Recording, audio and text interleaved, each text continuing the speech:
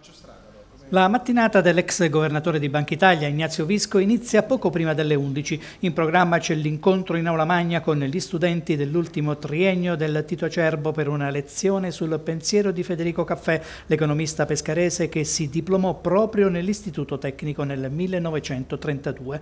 Prima però Visco, insieme al dirigente scolastico Carlo Di Michele, al sindaco Carlo Masci e a Monsignor Tommaso Valentinetti, ha inaugurato una targa in onore di Caffè che campeggia all'ingresso della scuola e che riporta alcune frasi dell'economista pescarese. Quindi l'incontro con gli studenti, ma anche professori ed altri economisti abruzzesi. Per l'occasione la scuola ha realizzato una pubblicazione in cui sono raccolti gli scritti e gli insegnamenti di Caffè, che fu uno dei principali diffusori della dottrina keynesiana in Italia, occupandosi tanto di politiche macroeconomiche quanto di economia del benessere. Visco lo ha ricordato così, partendo dai numeri con un'avvertenza. Guardiamo alla, eh, alle persone. Eh, questo non vuol dire che quei numeri non fossero importanti, lui stesso non sa che fossero importanti, però quello che eh, pensava è guardate quel numero è un numero astratto, dietro ci sono le vite di tutti e quindi, e quindi stiamo attenti agli effetti distributivi. Il punto di fondo è che Caffè era